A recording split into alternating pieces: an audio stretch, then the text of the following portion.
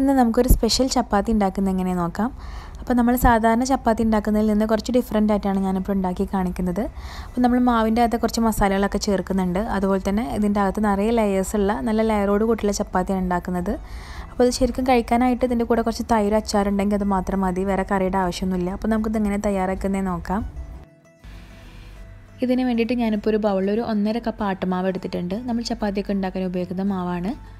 ഇനി ഇതിലേക്ക് നല്ലൊരു മസാലയുടെ ഫ്ലേവർ കൊടുക്കാനായിട്ട് ഒരു അര ടീസ്പൂൺ മുളക് പൊടി പിന്നെ ഒരു കാൽ ടീസ്പൂൺ മഞ്ഞൾപ്പൊടി പിന്നെ ഒരു കാൽ ടീസ്പൂൺ ഗരം മസാല പൊടി. പിന്നെ ഇതിലേക്ക് ചേർക്കുന്നത് ഒരു കാൽ ടീസ്പൂൺ ചെറിയ ജീരകം പൊടിച്ചതാണ്. ഇത് ചേർത്ത് കഴിഞ്ഞാൽ നല്ലൊരു ഫ്ലേവർ ഉണ്ടാവും കേട്ടോ ചപ്പാത്തിക്ക്. അപ്പോൾ അതൊരു കാൽ ടീസ്പൂൺ ചേർത്ത് കൊടുക്കാം. പിന്നെ ഒരു കാൽ ടീസ്പൂൺ ഇഞ്ചി പേസ്റ്റാണ് ഇഞ്ചി നന്നായിട്ട് അരച്ചെടുത്തിട്ടുള്ളതാണ്. വെളുത്തുള്ളി വേണ്ട ഇഞ്ചി മാത്രം ചേർത്ത് കൊടുത്താൽ മതി.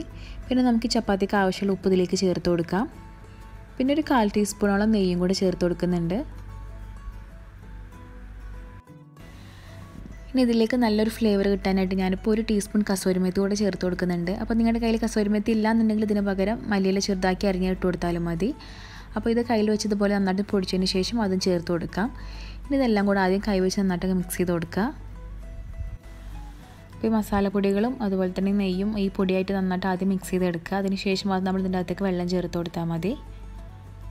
അപ്പോൾ ഞാനിപ്പോൾ ഇതിന്റെ അകത്തേക്ക് ഒരു ചെറിയ ചൂടുവെള്ളമാണ് ഒഴിച്ചു കൊടുക്കുന്നത് കേട്ടോ. തണുത്ത വെള്ളമല്ല ഒഴിച്ചിട്ടുള്ളത്. ചെറുതാക്കി ചൂടാക്കിയിട്ടുള്ള വെള്ളമാണ്. അപ്പോൾ അത് കുറച്ച് കുറച്ചായിട്ട് ചേർത്തിട്ട് നമുക്ക് നമ്മൾ സാധാരണ ചപ്പാത്തിക്ക് കുഴച്ചെടുക്കുന്ന പോലെ നല്ല സോഫ്റ്റായിട്ട് അങ്ങ് കുഴച്ചെടുക്കാം.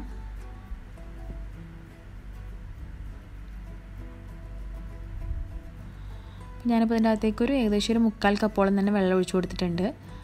അപ്പോൾ നന്നായിട്ട് അങ്ങ് കുഴച്ചെടുക്കുക ഇതുപോലെ സോഫ്റ്റായിട്ട് ഇനി ഇതിന്റെ മുകളിൽ ഡ്രൈ ആവാതിരിക്കാനായിട്ട് ഒരല്പം ഓയിലും കൂടെ അങ്ങ് തേച്ച് കൊടുക്കുക. അതിനുശേഷം നമുക്കിതൊരു ഒരു പതിനഞ്ച് മിനിറ്റ് അടച്ചു വെച്ച് കഴിഞ്ഞാൽ നല്ലതാണ്. അടച്ചു വെച്ചിട്ടില്ലെങ്കിൽ കുഴപ്പമില്ല. കുറച്ചുകൂടെ സോഫ്റ്റായി കിട്ടാൻ വേണ്ടിയിട്ടാണ്. അതിന് ശേഷം പിന്നെ നമുക്ക് ചപ്പാത്തി ഉണ്ടാക്കിയാൽ മതി.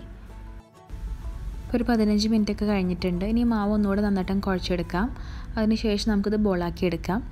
ഞാനിപ്പോൾ ഇത് കുറച്ച് വലിയ ബോൾസ് ആക്കിയിട്ടാണ് എടുക്കുന്നത്. മൊത്തത്തിൽ ഒരു മൂന്ന് ബോളാക്കി എടുക്കുന്നുണ്ട്.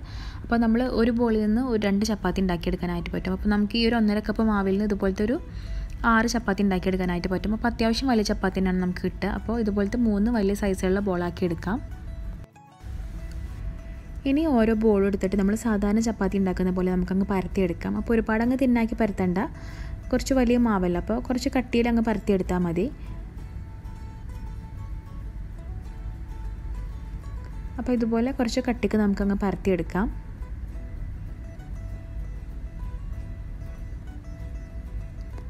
അപ്പോൾ ഇതുപോലെ ഞാൻ പരത്തിയെടുത്തിട്ടുണ്ട് ഇനി നമ്മൾ എന്താ ചെയ്യേണ്ടതെന്ന് വെച്ചാൽ ഈ ചപ്പാത്തിയുടെ മുകളിൽ നമ്മുടെ വിരൽ വെച്ചിട്ട് ഇതുപോലെ ഇതുപോലെ അങ്ങനെ പതുക്കെ പ്രസ് ചെയ്ത് കൊടുക്കുക. നമ്മൾ ഓരോ സ്പോട്ട് ഇട്ട് കൊടുക്കുക ഇതുപോലെ.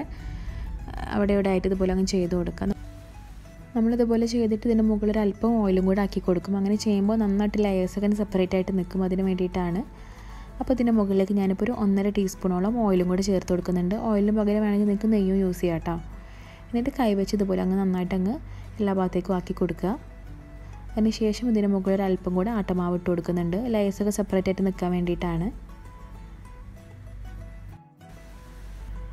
ഇനി നമ്മൾ ഈ ചപ്പാത്തിയുടെ ഒരു സൈഡിൽ നിന്ന് ഇതുപോലെ പതുക്കെ അങ്ങ് ചുരുട്ടിയെടുക്കുക.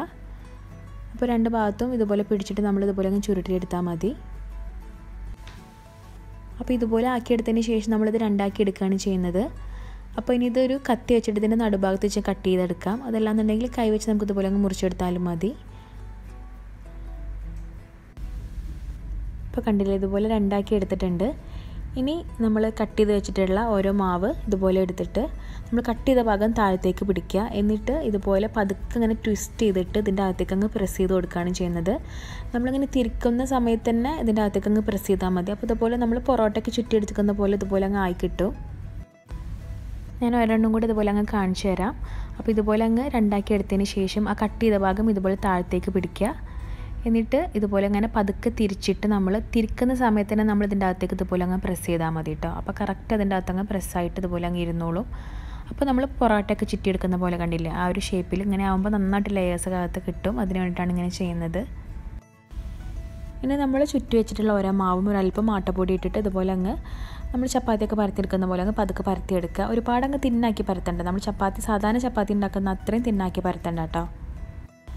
നമ്മൾ പൊറോട്ട ഒക്കെ ഉണ്ടാക്കുന്നത് വേറൊരു രൂപമാണ്. നമ്മൾ പൊറോട്ട ഉണ്ടാക്കുമ്പോൾ സാധാരണ നമ്മളിത് ചുട്ട് കഴിഞ്ഞാൽ നമ്മളത് അടിച്ചെടുക്കും. പക്ഷെ നമ്മളിത് അങ്ങനെ ചെയ്യുന്നില്ല. ചപ്പാത്തി പോലെ തന്നെ അങ്ങ് സെർവ് ചെയ്യാണ് ചെയ്യുന്നത്. അപ്പോൾ ഇതുപോലെ അങ്ങ് നമ്മൾ പരത്തിയെടുക്കുക. അതിന് ശേഷം നമ്മൾ ചുട്ടെടുത്താൽ മതി. അപ്പോൾ കുറച്ച് ഇതുപോലെ ഈ ഒരു കനത്തിലാണ് ഞാൻ പരത്തിയെടുത്തിട്ടുള്ളത്. അപ്പോൾ ഇപ്പോഴേ കാണാം നമുക്ക് ഇതിന്റെ ലെയേഴ്സൊക്കെ തന്നെ കാണാം സെപ്പറേറ്റ് ആയിട്ട്. അപ്പോൾ അതുപോലെ തന്നെ ബാക്കിയെല്ലാം നമുക്കങ്ങ് പരത്തിയെടുക്കാം. അപ്പോൾ ഞാനിപ്പോൾ എല്ലാം അതുപോലെ തന്നെ പരത്തി വെച്ചിട്ടുണ്ട്. ഇനി നമുക്കിതങ്ങ് ഓരോന്നായിട്ട് ചുട്ടെടുക്കാം. അപ്പോൾ ഞാനൊരു പാൻ ചൂടാക്കിയിട്ട് അതിന്റെ അകത്തേക്ക് ഒരു അല്പം ഓയിൽ ഒഴിച്ചു കൊടുത്തിട്ടുണ്ട്. പിന്നെ ഇതിന്റെ മുകളിലേക്ക് നമുക്ക് പരത്തി വെച്ചിട്ടുള്ള ഓരോ ചപ്പാത്തിയായിട്ട് അങ്ങ് ഇട്ട് കൊടുക്കാം. അപ്പോൾ നിങ്ങൾക്ക് ഓയിലിന് പകരം വേണമെങ്കിൽ നെയ്യും യൂസ് ചെയ്യാം കേട്ടോ അപ്പോൾ ഇത് രണ്ടും വേണ്ടാന്നുണ്ടെങ്കിൽ വെറുതെ സാധാരണ ചപ്പാത്തി ഉണ്ടാക്കുന്ന പോലെ ചുട്ടെടുത്താലും മതി. അപ്പോൾ ഒരു സൈഡ് ആകുമ്പോൾ നമുക്കങ്ങ് തിരിച്ചിട്ട് കൊടുക്കാം. അപ്പോൾ നമ്മളിതിന്റെ അകത്ത് മസാല ഒക്കെ ചേർത്തതുകൊണ്ട് തന്നെ ഓയിലിന്റെ അകത്ത് നമ്മളിതുപോലെ അങ്ങനെ ചുട്ടെടുക്കുന്ന സമയത്ത് കുറച്ചുകൂടെ നല്ല ടേസ്റ്റ് ഉണ്ടാവും കഴിക്കാനായിട്ട്. അപ്പോൾ രണ്ട് സൈഡും നമുക്ക് ഇതുപോലെ അങ്ങ് കുക്ക് ചെയ്തെടുക്കാം. ഒരു മീഡിയം ഫ്ലെയിമിൽ വെച്ചിട്ടാണ് നമ്മളിത് ചുട്ടെടുക്കാനായിട്ട്. അപ്പോൾ ഒരു ചപ്പാത്തി ഇവിടെ റെഡി ആയിട്ടുണ്ട്. അപ്പോൾ ബാക്കിയെല്ലാം നമുക്ക് ഇതുപോലെ തന്നെ അങ്ങ് ചുട്ടെടുക്കാം. അപ്പോൾ ഞാൻ എല്ലാ ചപ്പാത്തിയും ഇതുപോലെ തന്നെ ഇവിടെ റെഡിയാക്കി വെച്ചിട്ടുണ്ട്. അപ്പോൾ നല്ല സോഫ്റ്റ് ആയിട്ടുള്ള ചപ്പാത്തിയാണ് കേട്ടോ.